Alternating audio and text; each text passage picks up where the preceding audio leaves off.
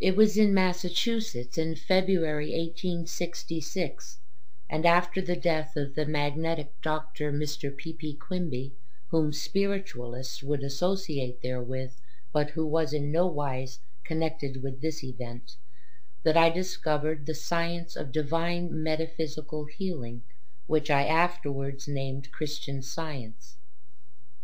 The discovery came to pass in this way.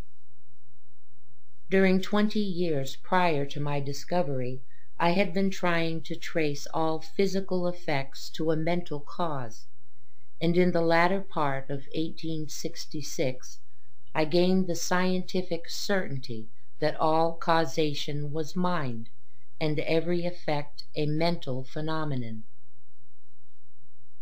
My immediate recovery from the effects of an injury caused by an accident an injury that neither medicine nor surgery could reach, was the falling apple that led me to the discovery how to be well myself and how to make others so. Even to the homeopathic physician who attended me and rejoiced in my recovery, I could not then explain the modus of my relief.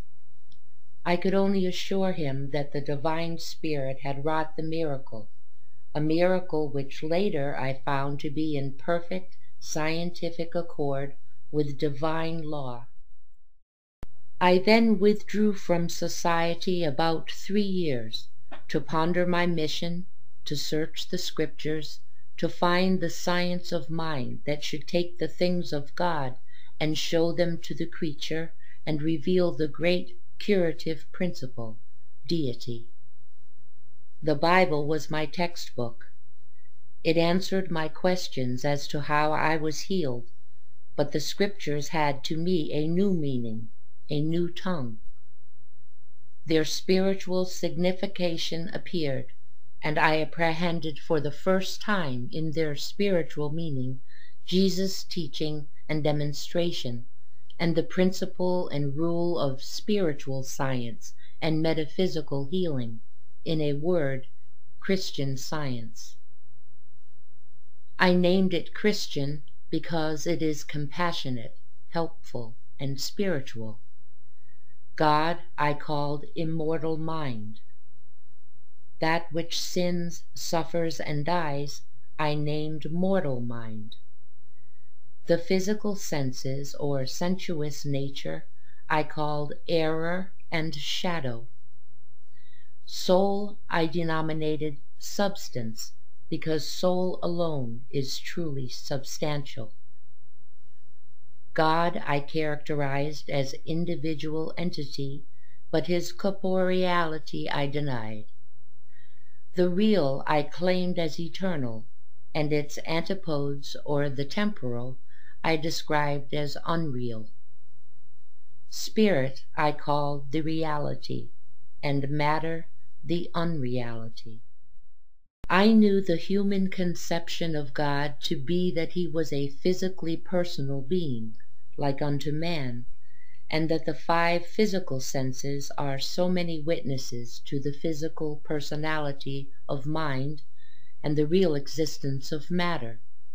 But I learned that these material senses testify falsely, that matter neither sees, hears, nor feels spirit, and is therefore inadequate to form any proper conception of the infinite mind.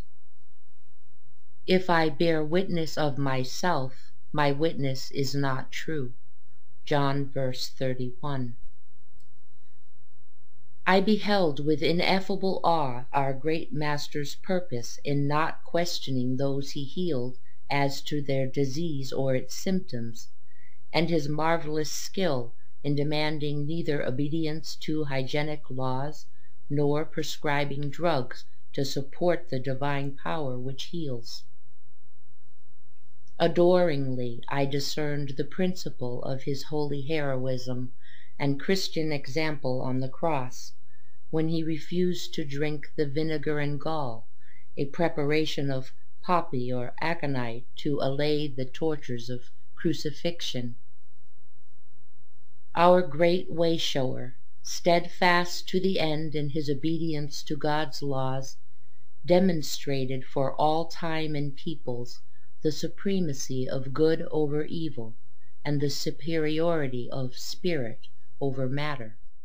The miracles recorded in the Bible, which had before seemed to me supernatural, grew divinely natural and apprehensible, though uninspired interpreters ignorantly pronounce Christ's healing miraculous instead of seeing therein the operation of the divine law.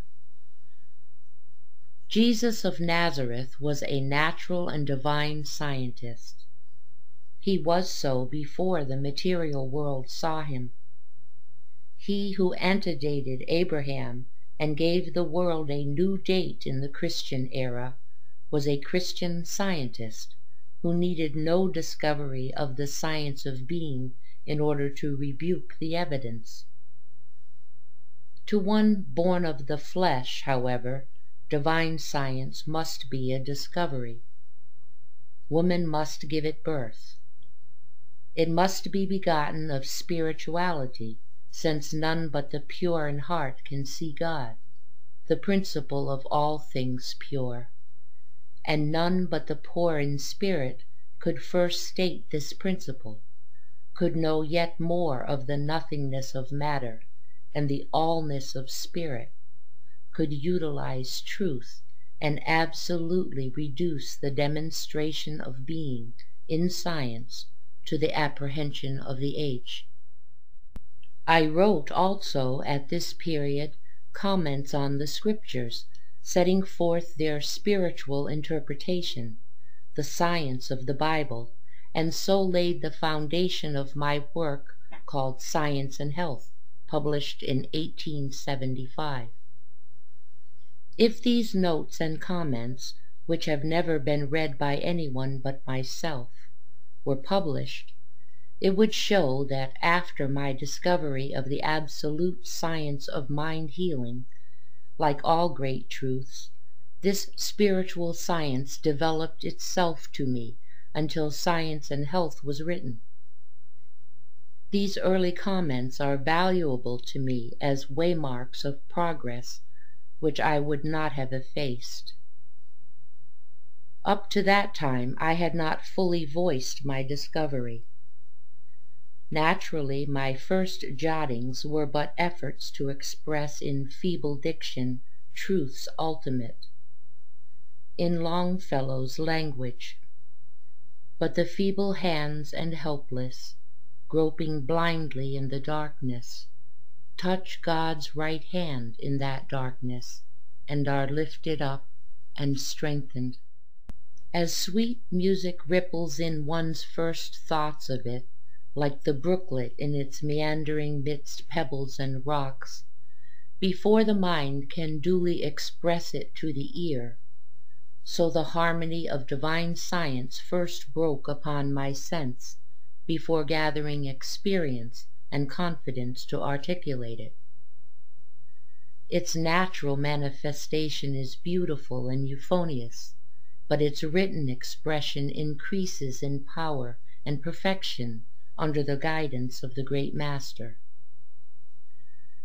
The divine hand led me into a new world of light and life, a fresh universe, old to God, but new to his little one it became evident that the divine mind alone must answer and be found as the life or principle of all being, and that one must acquaint himself with God if he would be at peace.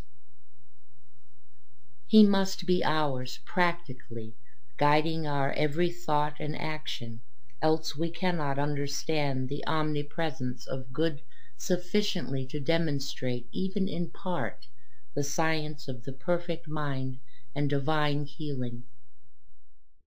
I had learned that thought must be spiritualized in order to apprehend spirit.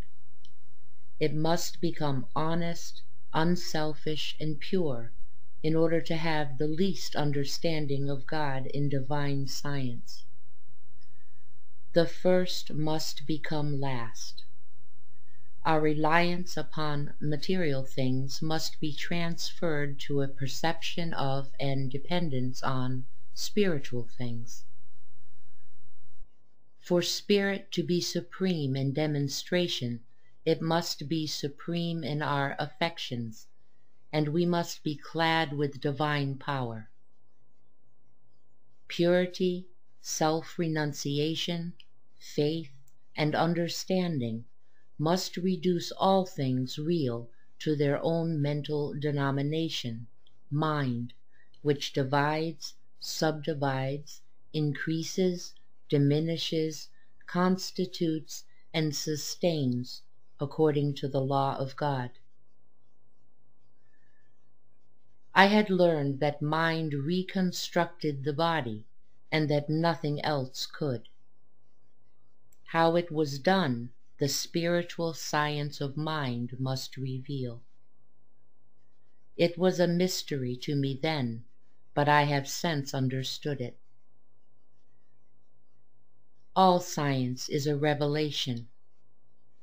Its principle is divine, not human, reaching higher than the stars of heaven